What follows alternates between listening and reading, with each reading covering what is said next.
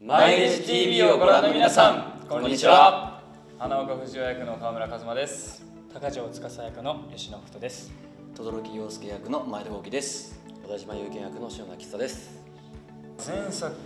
の反響としてはまあやっぱり皆さんも続編をすごく楽しみにしてらっしゃる楽しみにしてくださってるぐらいすごいあのいい反響もかなりいただいたと思うので、まあ、感想としては、まあ、すごく作品自体もなんかもう一段階成長したのかなっていうところはありますね。テーマ性にしても。やっぱりあの親子っていうチームも、まあ、前回は宝泉が一枚岩で。で親子はまあまだケースあのなんかまだ関係値が形成されてないというかでそういう中であのそれぞれのプライドとかあって、まあ、いろんな経験を経てあの最後のシーンになると思うんですけど今回は最初から割と親子チームの団結力がすごくある状態で始まってだからすごくより仲間のなんか大切さみたいなそのテーマとしてすごくそこがあの大きく分かりやすくなってると思うんですよね余計にその親子チームの団結力があるからこそ。でそこに宝泉チームが、ね、ああの改めてあの参戦っていうところもありましてあとはスズランとか、まあ、いろんなチームが出てきますけど、まあ、そことの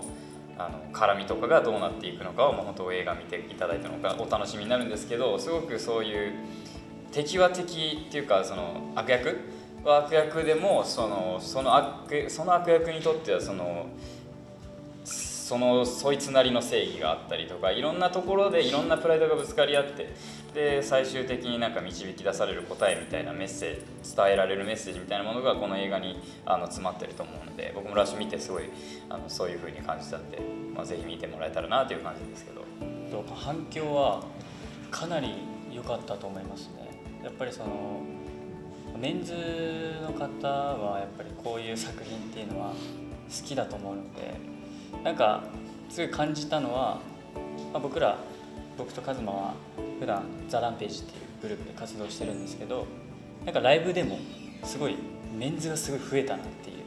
うん、あそうなんだ。確かにそうかもしれないです。そう。なんかすっごい嬉しいなと思って、うん、なんかこの「ハイアンドロー・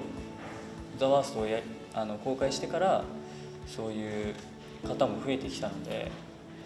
やっぱその影響力ってすごいなってっていうのを改めて感じましたね、まあ、今回新作3年越しの新作ということで、まあ、やっぱりその前回の終わり方がこうスズランの学校に乗り込んでで匂わせ系な形で終わったんですけど、まあ、今回は今回その台本読ませていただいたんですけど、まあ、本当に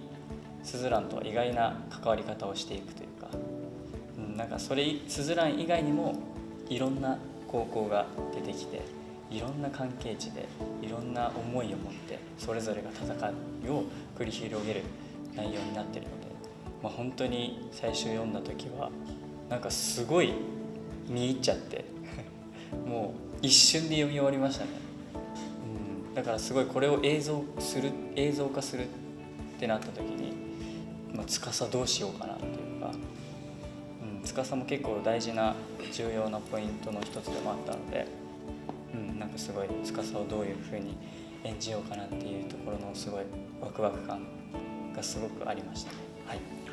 あ本当に僕個人的なことを言うと,、えーと、ドラマとザ・ムービーからザ・ワーストまであの割と時間が空いてで村山はいうスウォードの戦いとかにも参加してたんですけど、まあ、轟に関してはちょっとこう沈黙を貫いていたのでその中で本当に不安はあったというかどうどうやったらその皆さんの轟に歩み寄れるかというか自分の轟がそ本当の轟としてちゃんと存在できてるのかとかいろいろあったんですけどやっぱ公開されてからは本当いろんな媒体でにやっぱ記事にしていただいたりとかそれこそその轟陽介その前だというよりは轟として僕を認識してくださってる方がもう本当に分かりやすくそれこそ僕のセリフを全て覚えてくださってる役者の方とか もいらっしゃったりとか本当にちょっと人生として大きな幹になったキャラクターと出会えたということを感じるぐらい反響は感じあの受けました。まず僕の演じた小田島雄賢という役名が、えーこんなに覚えてもらえるとは思わなかったです、はい、その劇中で小田島って呼ばれてる回数多分1あるかないかなんですよ、はい、なんでその小田島雄賢って字面だけを見てあのその名前を覚えてくれた皆様に大感謝です、はい、前作はそんな感想です、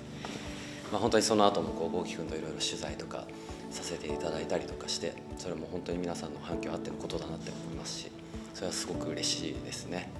で今回はまたさらに新たなキャストを迎えてでまたその本線も、えー新たなその一面を見せるというかその本線のちょっとなんだろうピリピリしてない空気感も交えつつ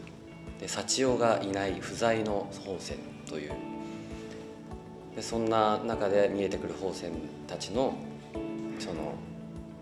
人柄だったりとかキャラクター性っていうのもまた深みが増してますし、うん、そういうところを注目して見ていただけたらあの本戦チームとしてはとても嬉しいなって思いますしまた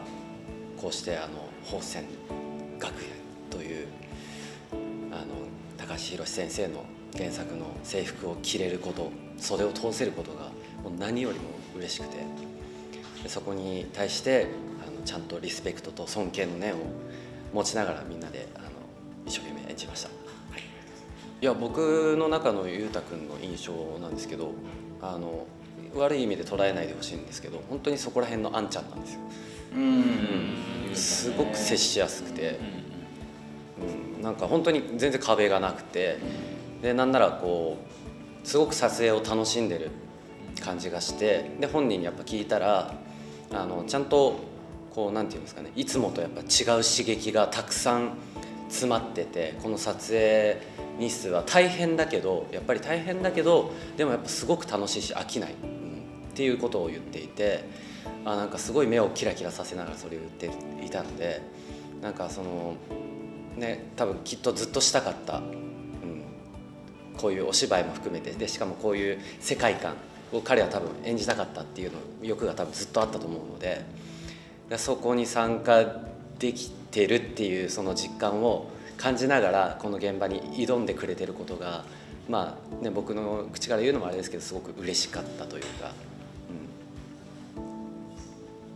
そういうあの人柄も見えたんであもうこれはすごいあのいい作品になるなと思ってましたね。いやまさしくそうだなとは思いますね、うんなんか最初の印象としては、なんか須崎の印象まあそれは言い過ぎですけど、うんうん。でもあの、まあ、その役の印象が最初に乗っかるじゃないですか、だからあの割とその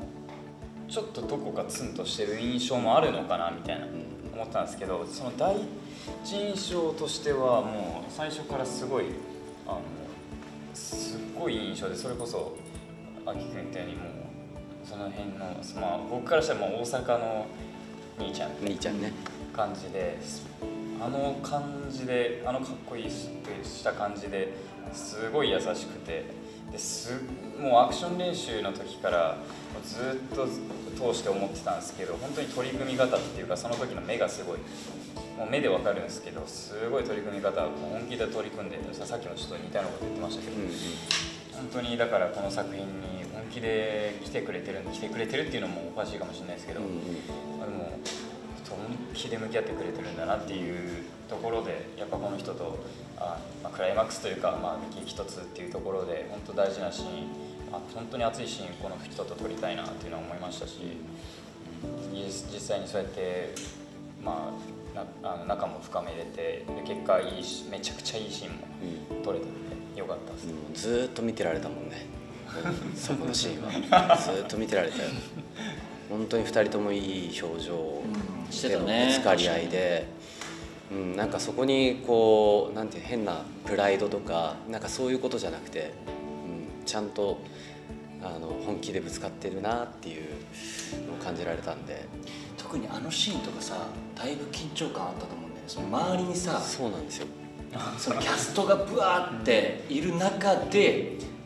みんなが集中してるって分かってるのにもかかわらずそこで全力を出さないといけないっていうさ、あれだいぶ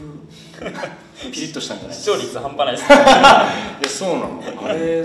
すごいよね。それでいって経験がうん。雄太はない状態だしまあうんそれはカズマもさそう。ね。たまにふと思うんですよね。本業はあゆうたくん経験ないのにあのうわもうすごいなって思うんですけどいやいや違う違うあのカズマもそんなにだった。んだよそもそもカズマがもうすごいっていうことが刷り込みしすぎちゃって。そうそうそうそうなん普ですよ。通になってんだけど まずカズマすごいからね。すごいからねっていう。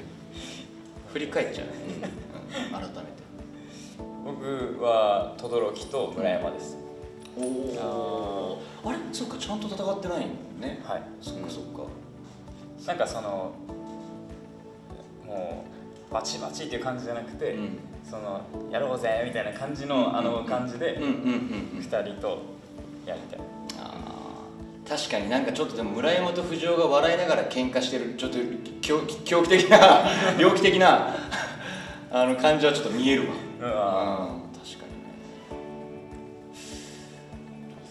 やーもうでもやっぱりラオウかラオウは確かいやもうなんか